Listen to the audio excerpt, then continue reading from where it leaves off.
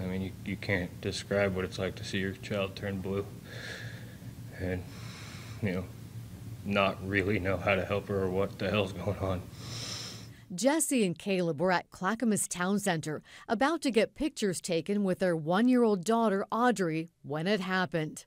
Disbelief, I think. I didn't want to think that she wasn't breathing. They tried to perform CPR and called 911.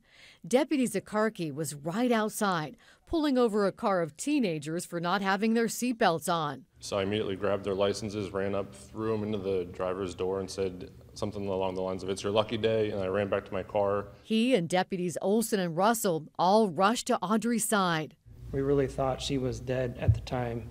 I mean, she was pale white, her lips were blue. The deputies found fluid in Audrey's lungs. They believe she choked on breast milk. I kept thinking, I, I can't let these people lose their baby.